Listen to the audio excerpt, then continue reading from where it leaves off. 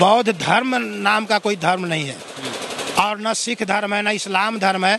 है तो ये मिथक है।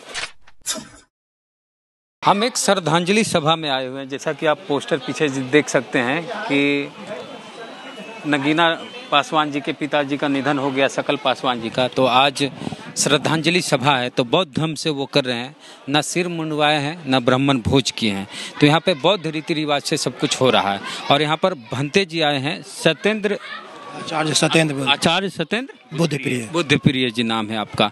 तो आप बता रहे थे सर त्रिरत्न के बारे में वो क्या है और फिर पंचशील बुद्ध धर्म का क्या है ये भी हम जानना चाहेंगे। त्रिरत्न जो है थ्री जेम्स कहा जाता है। बुद्धम शरणम धम्मम शरणम और संघम शरणम। कहा जाता है कि यम किंची रत्नम लोके विज्जति विविधम पुथो। रचनम रत्नम बुद्ध समम नत्थि तस्मा सोत्थि भवंतु ते। दुनिया में अनेक तरह के रत्न हैं। ऐसे तो रत्न कहा जाता है जैसे कीमती धातु जैसे डायमंड हीरा मोती सोना चांदी। पुत्र पुत्री स्त्री सौंदर्य पद मर्यादा। लेकिन कहा जाता है कि इन सभी रत्नों से सबसे श्रेष्ठ रत्न बुद्ध रूपी रत्न है। उसी तरह धम्म रत्न है। उसी तरह संघ रत्न है। और ये जो पंचशील पंचशील। पंचशील जो है सामान्य उपासक जो होते हैं उपासक मतलब कि जो गृहस्थ होते हैं और बुद्ध धम्म संघ को पालन मानते हैं उनके लिए ये पाँच सील है पर्याप्त है। पहला सील है पाणातिपाता वे रमनी शिक्षा पदम समाधियामी। मैं हिंदी में ही बहुत बताऊँगा कि प्राणी हिंसा से विरत रहने की शिक्षा ग्रहण करता हूँ। जहाँ तक हो सकेगा प्राणी हिंसा नहीं करूँगा। अनजाने में या जो है सो मजबूरी में हिंसा हो जाए तो उस उसके उसकी मनाही नहीं है इसमें। इंटेंशनली नहीं कर इंटेंशनली नहीं करना है। दूसरा सील हुआ अदिन्ना दाना वे रमनी शिक्षा पदम समाधियामी। इसको हिंदी में मैंने व्याख्या के रूप में ये कहा जाएगा कि किसी के धन संपत्ति को हड़पना नहीं चाहिए, ठग के या चोरी करके या बेईमानी करके। ये दूसरा सील हुआ। तीसरा सील है, काम एसु मिच्छाचारा वे रमनी शिक्षा पदम समाधियामी। यानी व्यभिचार से विरत रहने की शिक्षा ग्रहण करता हूँ। आम आदमी, उपासक, स्त्री पुरुष प्रसंग कर सकता है। लेकिन समाज के द्वारा जो मान्य है, वही स्त्री पुरुष प्रसंग करेगा। समाज के जिसको मान्यता नहीं देता है, उसको नहीं करेंगे। ये जो है सो तीसरा सील हुआ। चौथा सील है मूसा वादा वे रमनी शिक्षा पदम समाधियामी। मिर्सा वचन से विरत रहने की शिक्षा ग्रहण करता हूँ। मिर्सा वचन चार है, झूठ बोलना मिर्सा वचन है, सच होते हुए भी कठोर बोलना मिर्सा वचन है, सच होते हुए भी चुगलखोरी करके इधर की बात उधर करना ये मिर्सा वचन है। सच होते हुए बकबक करना ये मिर्सा वचन है। ये चौथा सील हुआ। पांचवा सील है। हर प्रकार के नशाखोरी से विरत रहने की शिक्षा ग्रहण करता हूँ। यहाँ तक कि आलस करना भी नशाखोरी है। ज़्यादा भोजन करना भी नशाखोरी है। इसको कहा गया है कि तो ये इस तरह के पाँच सील हुआ। आम उपासक के लिए यही पर्याप्त है। बहुत बहुत धन्यवाद बनते जी, कि त्रिरत्न और पंचशील के बारे में बताए। और नीचे कुछ धर्मों के बारे में जो आप चर्चा कर रहे थे कि कि ईश्वर एक है, बांटा गया है। ऐसा है कि बुद्ध ने कहा कि बुद्धम शरणम गच्छामि और धम्मम शरणम गच्छामि। बुद्ध की शरण जाता हूँ, धम्म की शरण जाता हूँ। बौद्ध धर्म की शरण नहीं कहा, धम्मम शरणम गच्छामि। धर्म एक ही है।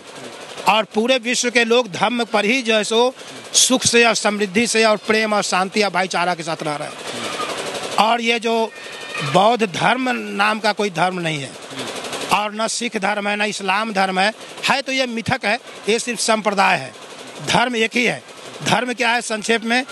जो हमको अच्छा न लगे, अपने लिए कोई ऐसा व्यवहार, वही व्यवहार हम दूसरे के प्रति नहीं करें, किसी प्राणी के प्रति, किसी मनुष्य के प्रति।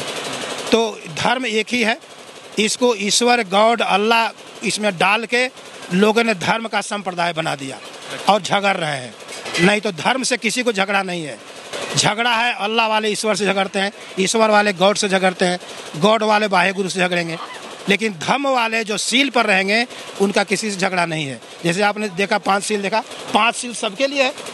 चाहे ईसाई हो या सब कोई पाँच सील है झगड़ा करता है जब अल्लाह गॉड मंदिर मस्जिद गिरजा होता है तब झगड़ा होता है। ऐसे कोई धर्म नहीं है? ऐसे धर्म एक ही है। धर्म बस एक है। और बाकी सब धर्म? सब संप्रदाय है। जमात है। हाँ हाँ। जमात। अच्छा बौद्ध धर्म धीरे धीरे घट क्यों गया? जबकि गौतम गौतम बुद्ध की वजह से विदेशों में कई देशों में बौद्ध धर्म को माना गया लेकिन अपने ही देश में बौद्ध धर्म धीरे धीरे नीचे चला गया। ऐसा है कि धर्म को या बुद्ध को या संघ को, बुद्ध, धर्म, संघ तीन चीज़ होता है। इसको न मानने से, इसके प्रति सम्मान न रखने से भारतवासियों का बहुत नुकसान हो रहा है। आपस में झगड़ रहे हैं। आज देखिए जो सो फेस आप चाहे जो सो आप कुछ कहा था सोशल मीडिया देखिए, चाहे जहाँ देखिए, वह हिंदू, मुस्लिम झगड़ा जो सो पूरा छिड़ा हुआ है। हिंदू साबित करने पर मुसलमान बड़ी जो सो अथी है, बदमाश है और ये है, धर्मी है आप मुसलमान साबित करने के लिए पड़ा हुआ है कि हिंदू जो सो। तो ये जो सो बुद्ध के धर्म को न मानने से बुद्ध का धर्म जो सो पूरे विश्व में है। जैसे अंग्रेज़ों के समय में जब ब्रिटेन का शासन था पूरे विश्व में तो सूर्य नहीं डूबता था। कहीं ना कहीं उसके राज्य में सूर्य उगता था। वैसे ही आज जो सो बुद्ध धर्म का साम्राज्य जो सो पूरे विश्व में है। तो जहाँ बुद्ध धर्म है वहाँ सूर्य नहीं डूबता है। सर श्रीलंका में भी बुद्ध धर्म है। और वहाँ पर करीब करीब सत्तर परसेंट लोग ऐसे हैं जो बौद्ध धर्म को मानते हैं। और वहाँ की स्थिति अभी क्या हो गई, सर? खाने खाने को मोहताज महँगाई पूरा बढ़ गया और एकदम राष्ट्रपति भाग रहे हैं, वहाँ से प्रधानमंत्री की स्थिति भी हो चाहिए तो ऐसा है कि बुद्ध धर्म पर धर्म पर सही ढंग से रहेगा तब ना, जब स्खलन होगा, जब प्रमाद आ जाएगा, तब तो दिक्कत होगी ही ना। हाँ वो तो आदमी आदमी पर निर्भर करता है। आज हम बुद्ध का धर्म को कहें कि हम बौद्ध हैं। और पालन नहीं करें। तो तो हमको फ़ायदा होगा नहीं ना। जैसे बाबा साहब बोले थे किसी भी देश का संविधान कितना भी अच्छा क्यों ना हो। उसे लागू करने वाले अच्छे लोग नहीं होंगे तो अंततः बुरा साबित होगा।